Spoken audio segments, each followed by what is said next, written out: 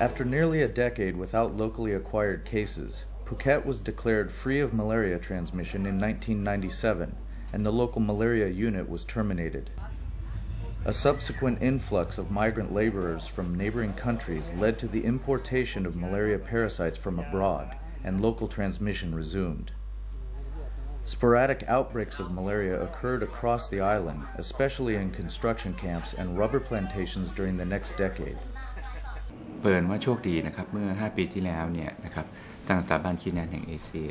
นะครับก็เห็นความสำคัญเรื่องนี้ก็ได้มาพูดคุยกันนะครับว่าในเชิงเทคนิควิชาการเนี่ยการพูดคุยกันการเตรียมข้อมูลเรื่องรายละเอียดเนี่ยก็ทำให้มีความร่วมมือนะในโครงการที่ทางสำนักงานจังหวัดภูเก็ตทำงานร่วมกับสถาบันคีแนนแห่งเอเชีย ซึ่งรูปแบบการดำเนินการเนี่ยหลังจากที่เข้ามาในระยะ 5 ปีที่ผ่านมานี้ก็ต้องถือว่าประสบความสำเร็จอย่างสูงนะครับ With funding from the U.S. Agency for International Development, the Keenan Institute Asia supported the establishment of a new malaria unit within the Provincial Health Office, employing retired malaria experts to handle technical matters on the ground. They mapped out high risk areas, conducted blood screening among migrant workers, provided health education, distributed bed nets, and sprayed insecticide to control vectors.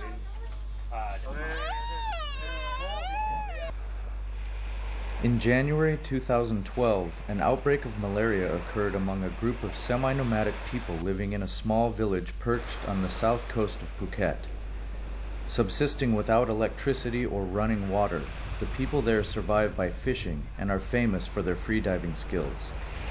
The outbreak quickly tested the provincial malaria response capacity.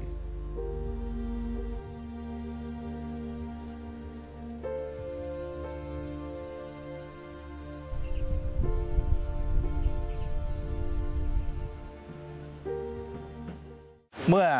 4ีหวันที่ผ่านมาเนี่ยมีเคสเกิดขึ้น แล้วเรามาสอบประวัติแล้วปรากฏว่าอ่าติดเชื้อในพื้นที่นี้ ตั้งแต่ผู้ป่วยไปรายแรกที่ไปโรงพยาบาล เราก็ได้รับแจ้งจากโรงพยาบาลสองทางนะครับ ทางหนึ่งคือเข้าระบบเวฟอเลอร์ที่เขามีอยู่แล้วแต่เดิม อีกส่วนหนึ่งคือเมื่อเมื่อห้องแลบ ของโรงพยาบาลตรวจพบเชื้อเขาก็จะโทรศัพท์มาบอกเราว่าโอเค พบเชื้อมาลาเรีย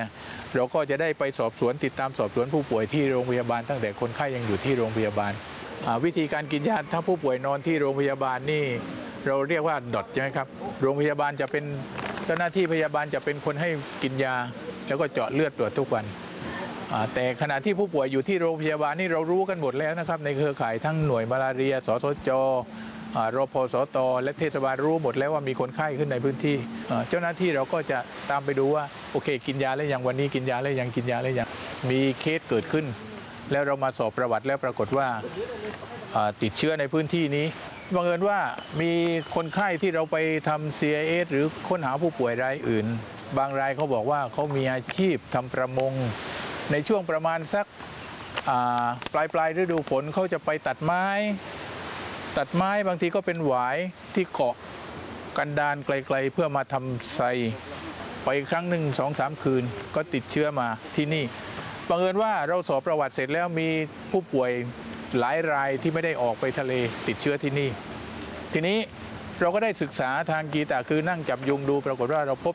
พบยุงก้นปล่อง ชนิดที่เราเรียกว่าเป็นอีพิโรติคัสทีนี้เราก็ได้ทำการควบคุมโรค ควบคุมยุงพาหะ ทำอยู่หลายหลายมาตรการนะครับเช่นหนึ่งการควบคุมยุงโดยการพ่นสารเคมีริดตกค้างตามกระท่อม อันที่สองก็คือแจกมุ้งนะครับ มุ้งที่ชุบสารเคมีติดทนนาน อันที่สามก็คือร่วมมือกับทางเทศบาลราวัยเนี่ยพ่นหมอกควันอ่าส่วนหนึ่งพื้นที่บริเวณนี้เป็นพื้นที่ที่เราศึกษาเพราะว่ามีลูกน้ำยุงก้นปล่องชนิดอีพิโรติคัสตามแหลมหิน ซึ่งเราก็ได้ใช้สารเคมีไปกำจัดลูกน้ำ ซึ่งเราจะทำทุกสองเดือนในพื้นที่นั้น แต่ถ้าเป็นพื้นที่ที่มีการระบาดซ้ำซากต่อเนื่อง หรือมีความเสี่ยงที่ไม่ลดยกตัวอย่างเช่นจังหวัดภูเก็ตนะครับพื้นที่อย่างนี้เนี่ยควรนะครับที่จะต้องมีการตั้งหน่วยมาเลเรียเข้ามาในพื้นที่จนกระทั่งท้ายสุดเนี่ยในปีนี้นะครับเราได้ดึงนะครับเงินกองทุนสุขภาพระดับตำบลนะครับเข้ามาบูรณาการด้วยกันเป็นเงินกองทุนสุขภาพระดับจังหวัด กองทุนก้อนนี้เนี่ยยังไงก็จะมีการสนับสนุนแล้วก็ดำเนินการต่อเนื่องได้นะครับ ประเทศไทยมีความมุ่งมั่น โดยท่านรัฐมนตรีกระทรวงสาธารณสุข ได้แสดงเจตนารมณ์ว่าเมื่อถึงปีคศ 2020 ประเทศไทยจะมีพื้นที่ในระดับอำเภอที่ไม่มีการแพร่เชื้อมาลาเรียถึง 80%ของอำเภอที่มีทั้งหมดในประเทศไทย